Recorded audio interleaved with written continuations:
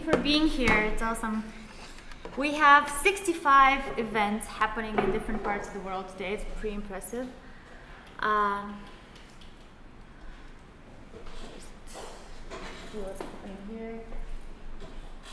This is Naoko right now presenting uh, presenting uh, at our live stream. Are you all registered for our live stream? We have a live stream happening on Crowdcast, and it's going to be 24 hours of sessions about translating different languages and from different people. Um, this is not what we're focusing on today.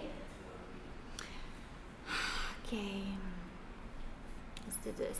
Is there a, uh, clicker I can use, or should I? Uh... Yeah. No, that's all right. I can I can just switch the slides from here. So this is a quick introduction. How many of you have translated WordPress before? Nobody has translated WordPress before. That's awesome. So you're all new contributors. This is this is pretty this is pretty pretty great. I really like seeing people that have not contributed before. It's very easy to get started. Uh, we are a huge team, and you can be a part of it too. And it's uh, uh, it's a real pleasure to be here talking to you. WordPress Translation Day, as I said, is today. We have a lot of things happening simultaneously. We have events in Asia, Europe, everywhere. You can, if you go on wptranslationday.org, you can see the map of everything that is happening right now. Um, we are doing this for the second time, so you're a part of the second one. This is the first event in Singapore. Thank you, John, for uh, organizing this. I hope this is not going to be the last one. Um, and um, uh, our primary goal is to show you guys how to translate WordPress. You probably all use WordPress in some form or another, your work or like you're blogging or you're doing something. And if you speak a language other than English, which you apparently do, you can you can help contribute to WordPress because WordPress is made by volunteers. As John said, there are 14 teams contributing, and the Polyglots team has about 10,000 people already helping it worldwide. We are in 100, like trans WordPress translated in 160 languages and even more, Chinese and Japanese being one of them. Um, the other goal uh, of the day is to learn, uh, for developers to learn how to make their software translatable. There are a couple of sessions during the live stream dedicated to that, so you can check them out.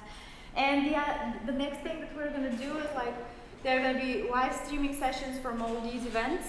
So you can see some of the other people that are already doing this from, uh, from all corners of the world.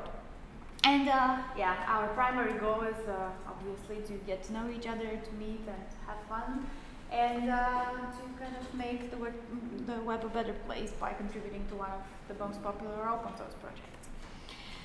Uh, a few terms, you will probably see this a lot, L10N over there, that's an abbreviation like a shortened uh, word for localization, which literally means translating software. It means making software, like translating software in particular language. I18N is the other is the other kind of similar abbreviation that you're going to see, and uh, it means internationalization. The reason they're shortened like that is because both words are a mouthful, and and also they take a lot of space on Twitter. You know, it's kind of uh, you know you you spell internationalization on Twitter and there there go your 140 characters. So uh, developers have found a way to shorten this.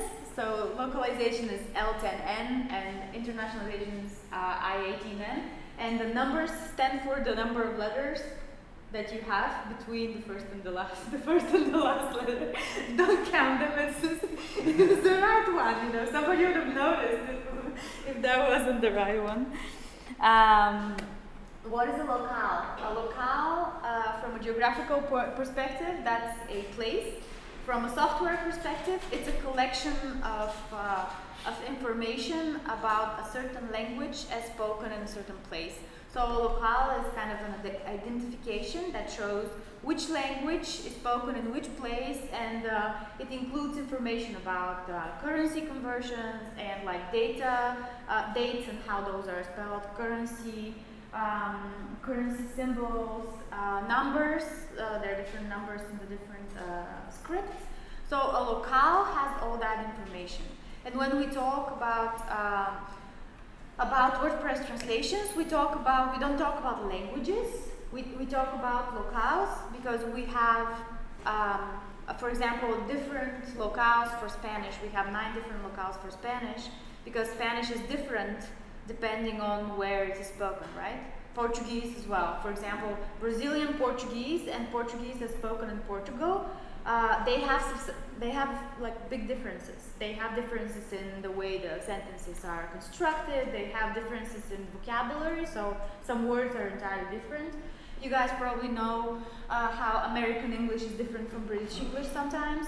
Like the, the, the British people don't really enjoy um, reading and using American English all the time because they find it simplified. Like a, uh, so we have four different, no, sorry, six different English locales. We have English, uh, the original US American English, we have British English, Canadian English, we have English uh, spoken in New Zealand, Australia, and Canada. So all of these people, um, the point of that is to make WordPress sound a little bit more local, you know? So when somebody from Canada or somebody from the UK opens WordPress, it doesn't greet them with howdy, which is uh, Tex Texas kind of way to, to greet people. It greets them with how do you do, which is a very British way to greet people, right? So this is this is the this is uh, what the local information holds. And WordPress has 164 as of today different locales. Those may be uh, different languages, but they can also be different languages as spoken in particular places. Uh, yeah, sorry, I didn't. I thought that I updated that, but yeah, it's 164. We added se se several more. Um, this is how WordPress grew. So in 2003, uh, it was created in 2003. In 2011, it was only 13% of the web. And today, it actually, as of yesterday, powers 27% of the web. This is uh, old data as well. And a lot, a big part of that is due to the fact that very early on, people started translating it. So today, uh, you know, until 2014, uh, you could all, you could only download different languages from uh, different languages from the local Rosetta sites. But after that, um, in uh, WordPress 4.0, in non-English locales for the non-English translations for the first time kind of surpassed the English ones, which means that WordPress is used in languages other than English more than it is used in English. All of the combined languages, they form uh, a bigger usage than, uh, than English. Yeah, so today we have 140 uh, and uh, 64 locales, and 73 of those are translated at 100%. So every WordPress string is translated into those languages. Um, the rest of them uh, are either 90, 90% plus translated or 50% plus translated, and we have several new ones that are still, you know, it's 0 to 50%. Um, this is all data. I'm gonna just quickly run through uh, this. 23 locales have more than 50, and 62 locales have less than 50% translated, uh, which means that they have a lot of work to do uh, yet. And uh, our next target as a team is to get WordPress at 100% and the top plugins and themes, which are also available for translation online, we want to get them to 100% as well. So how does it work? This is the main address. This is where, where you'll be going today. It's translate.wordpress.org. When you go there, you have like a big drop, like a big uh, list of languages, and you can search for your language, and you can select it, and you can start translate. You only need a WordPress.org username to do that. This is how the, the page looks. If you open it, you will see this. You enter, uh, start typing the name of the language that you want to translate in you select it like this. You see the projects that are available for translation. You click on translate project and you start, you will see the original string on the, uh, above, like the field to enter the string. You enter the translation and you hit uh, enter and you're done. This is your already suggesting, suggesting it's very, very easy. It takes uh, two clicks. You only need to have a WordPress.org username. Um, everybody can suggest strings, but they don't automatically get imported to the project.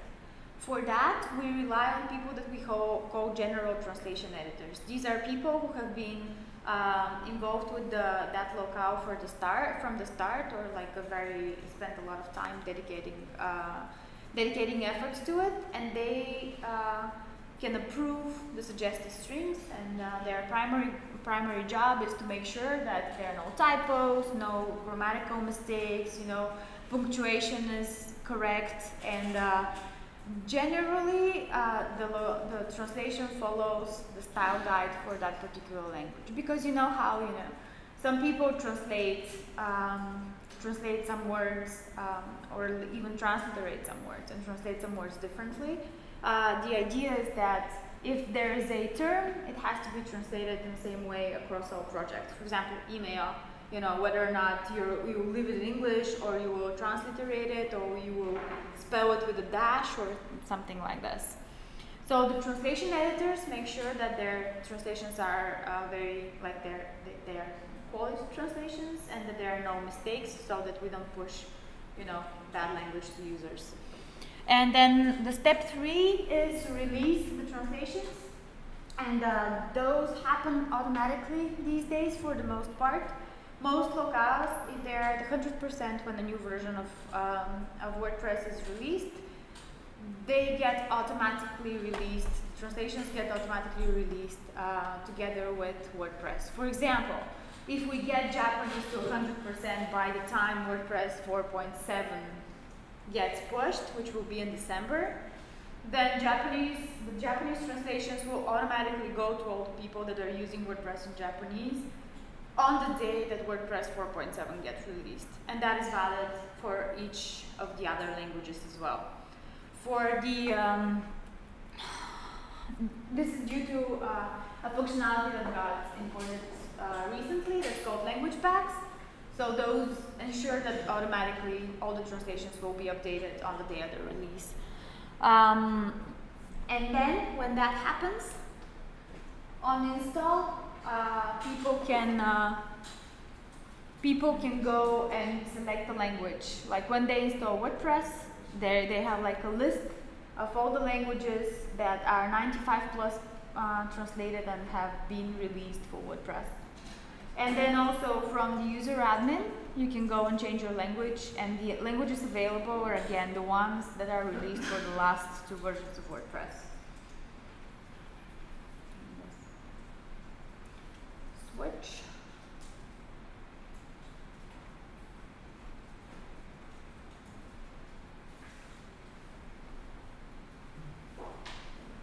There is still a way for uh, people to download WordPress in another language. Each locale is associated with uh, its own local WordPress.org site. For Japanese, we have ja.wordpress.org. For Chinese, we have cn.wordpress.org, and you can go there and you can download WordPress in that language uh, at the latest release from this big, beautiful button over here. Um, okay, so a little bit about the Polyglots team. This is a volunteer team. It's the biggest contributor team uh, WordPress has.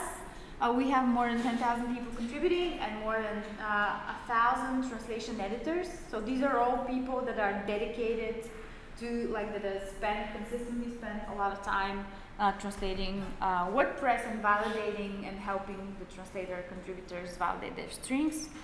Um, most of the polyglots are native speakers, which ensures that WordPress will speak will not speak robotish. Uh, robotic language, you know, it's uh, easy to run things through Google Translate, but uh, more often than uh, than not, those translations are unusable by real humans, right? So we have real people translating in a way that actually makes sense for users. And that's what we ask our general translation editors to try to do. Um, they, the translation is usually started by developers who need a translation for a client project or something like this.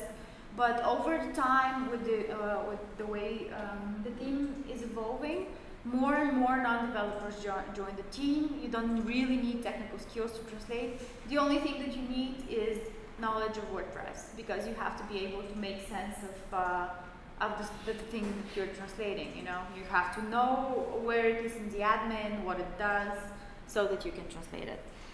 Um, so if your language is already in, you can uh, you can go to makewordpress.org slash polyglot slash teams and find your local team. Um, it's a, uh,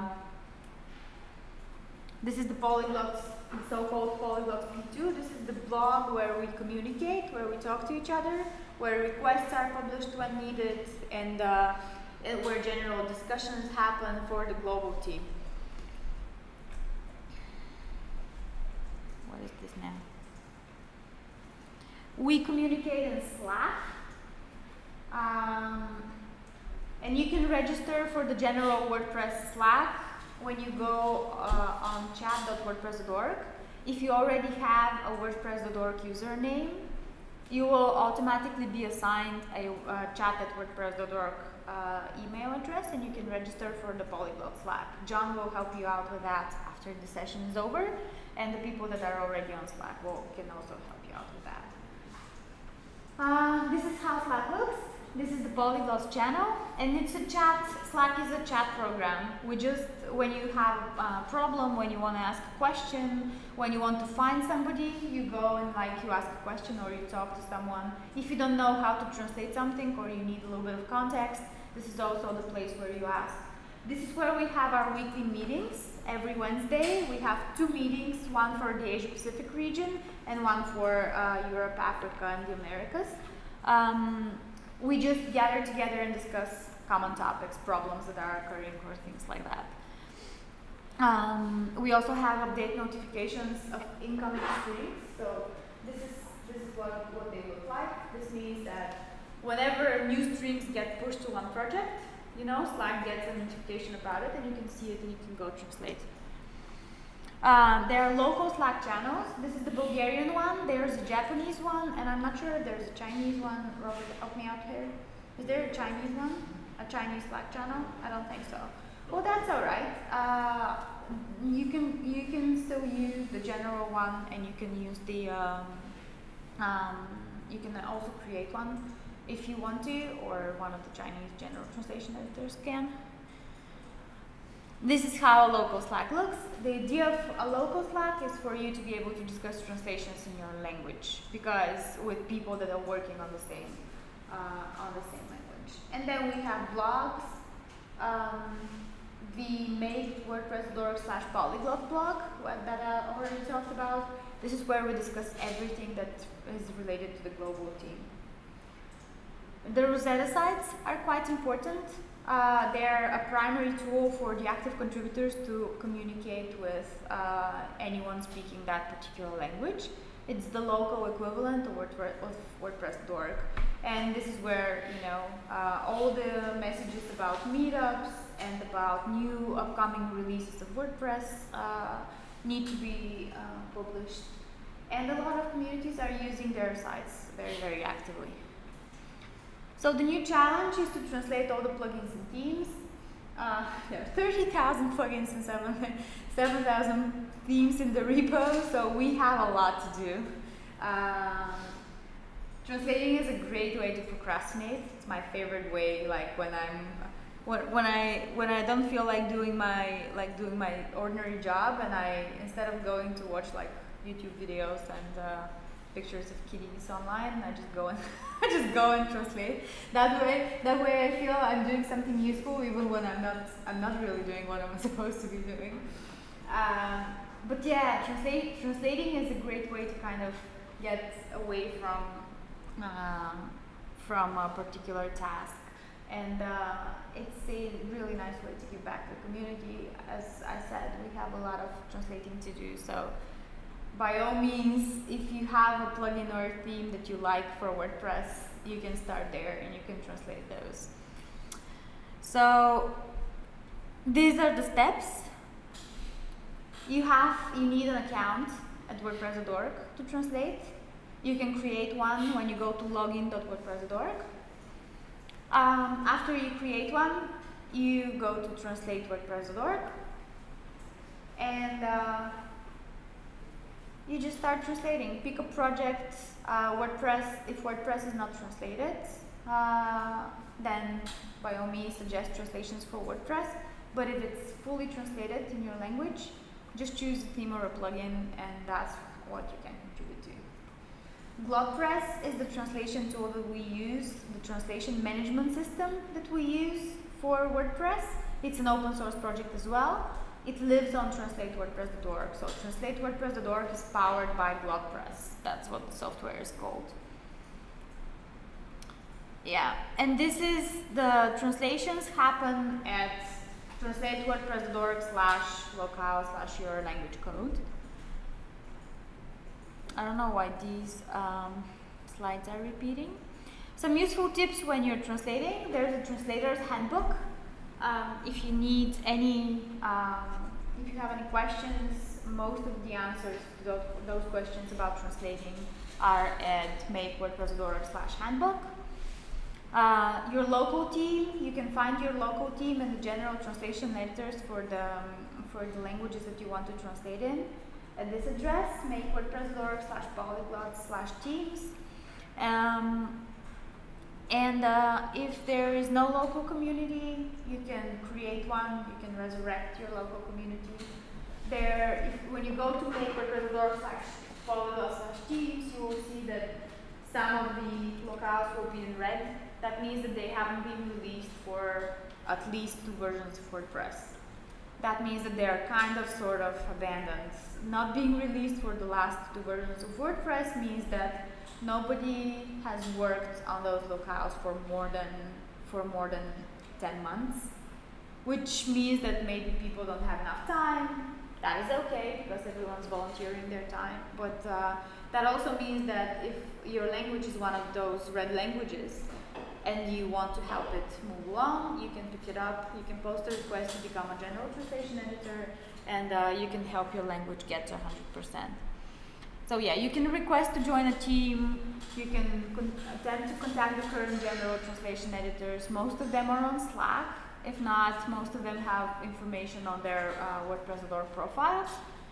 Um, and uh, yeah, you can become a general translation editor. So one thing that we need to know uh, when we translate WordPress is that everyone's a volunteer.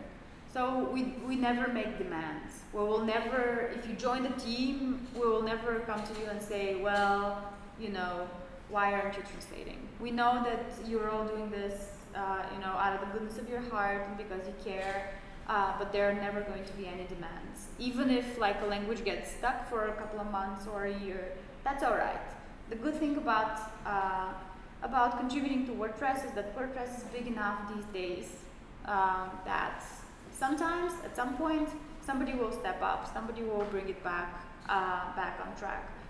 Um, your participation in the team needs to be uh, on your own time. It doesn't have to interfere with your ordinary schedules. Most of us do it because we really like each other and uh, a lot of us do it because we need um, WordPress translated in those languages for our work. So you can find your own reason over time uh, to keep doing it or to uh, or to keep to, keep contributing to the team. Uh, you can do it on your own time. Nobody will never hold like hold you accountable or ask you to dedicate more than you can. Uh, if there is no local team for a language that you're interested in, in bringing WordPress to, you can request one. There's just post a request on makewordpress.org slash polyglots and uh, the team will work with you create that locale and to make it available for translations for everyone out there. This is how a, this is how a locale request looks. You need to provide certain information, uh, do a little research.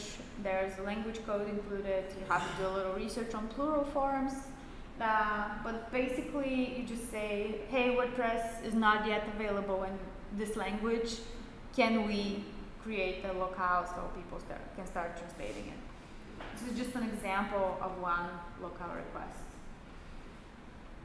in your uh, local team, there are general translation editors, project translation editors, and translation contributors. General translation editors have the power to approve strings for all projects for that locale. Project translation editors are only responsible for, for example, a particular plugin or theme. That means that they can suggest translations for all the other projects, but they can approve translations only for a certain project, plugin, theme, or a part of WordPress. And then the translation contributors are all the people that are suggesting strings. Uh, all the people that are going and like adding translations to uh, WordPress projects that don't have them yet. Every team, uh, or most of the teams, have uh, local style guides and glossaries. Those are kind of um, documents that help you know what word is translated how. So general, like a list of general 100 or 200 terms uh, that you need to know how to translate and how I translate uh, throughout the project. The style guide is just instructions on how to approach certain types of translations. All these are a little, I mean, all these are a little vague. You will get to them once you start using it, uh, using the software and start translating, you will, you will understand what I'm talking about. So the general expectations when translating, uh, you can't include random links in translations. A lot of people in the past have tried to like, uh, in the first translations, have tried to promote their own services and their languages and things like that. We don't do that. That's not why, why we translate WordPress. So you can't include random links. Not only you shouldn't, you actually can't because uh, the software is not going to accept a link that is not included in the original string. Uh, don't translate literally, that means that sometimes you might need to change the order of the words and you might need to change uh, you know, an entire sentence or not even use a particular word. Uh, just make it sound as if, you know, just make it sound human. don't, don't translate it, don't translate every word as it is. Uh, that's what Google Translate does. We're not Google Translate, we're people. Um, the same level of formality, uh, I'm not really familiar if uh, Japanese or Chinese have formal and informal, I, am guessing they do. Uh, but for example, um, in English and in a lot of languages, um, sometimes you use a certain language when you want to speak more politely and as if you know you don't know the person. And you use different type of language when you're speaking to like people you know and you're familiar with. Uh, that includes some grammatical forms and things like that. So WordPress, uh, look up what the general tone of WordPress in your language is and try when you translate, try and keep the same level of formality uh, for your translations as well. Slang or um, audience specific terms, uh, for example, the best example of this is actually in the original translation, so howdy is slang. But uh, you know it's not the general hello it's not the general hi it's uh, a very specific area specific term.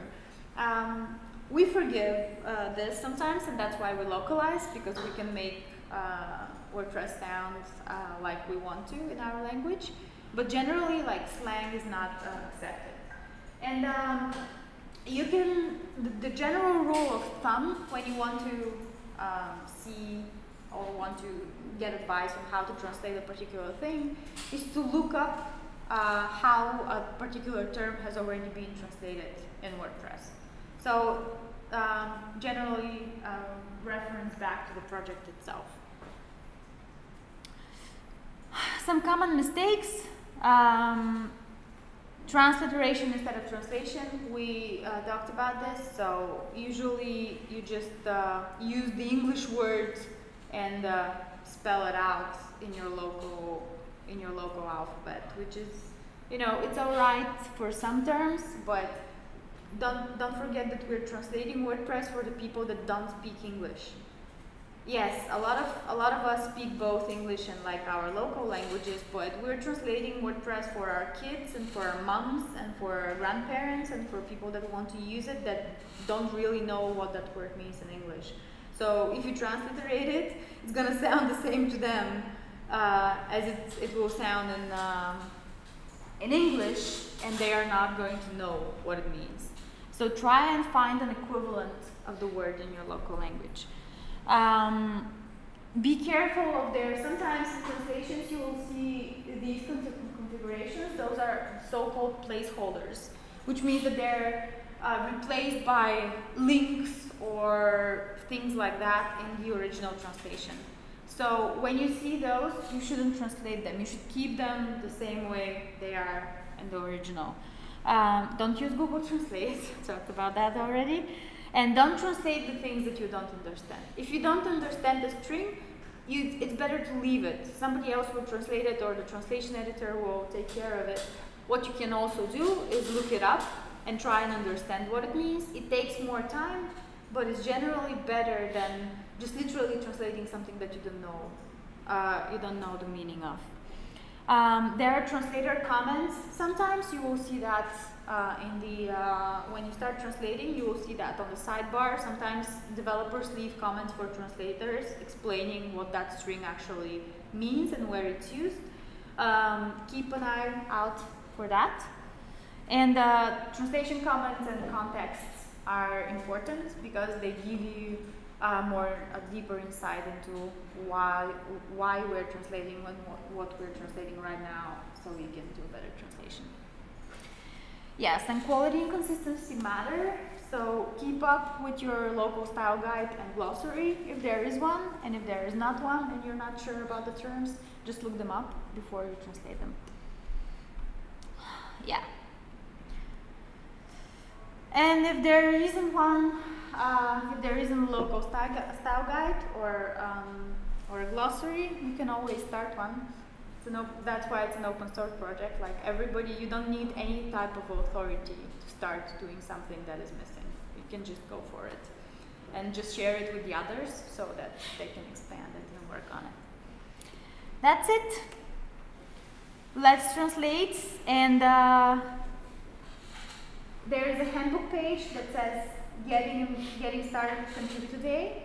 Uh, we'll leave uh, the link to it or like write the link to it on the on the blackboard so you can like if you don't remember anything of this presentation. Just Google polyglots and Contributor Day. Yeah, we will write it down on the on the whiteboard. There is a list of steps there. Uh, all the links are there, so you don't have to really remember any of this. Uh, maybe the only link that you need to remember is this one. It's easy, translate.wordpress.org. All right, thank you so much for being here. Uh, I'm going to go back to the live stream, but I'm going to be around today, so if you have any questions, I'm happy to help. Uh, John is also going to uh, answer some questions you have. Uh, Robert is a translation editor for uh, several plugins for Chinese, so he knows the platform as well, so you can ask him. Delegate it. Um, and uh, yeah, just um, you can tune in to the live stream at some point if you want to watch some sessions as well. The live stream, we're gonna write the live stream on the um, on the whiteboard as well. Uh, at 4 a.m. UTC, what time is it? Is that here? 12, 12. At 12, yeah. There's gonna be community a community session for the Asia Pacific region. Cool. So it'd be awesome if you stream these guys in. Yeah. So you, you, guys say hi to the rest of the world. so actually, we, uh, I think uh, John is on my stream now. Yeah. So am I getting the link correct? Did I check? Let me. Or it was right? Hi, John.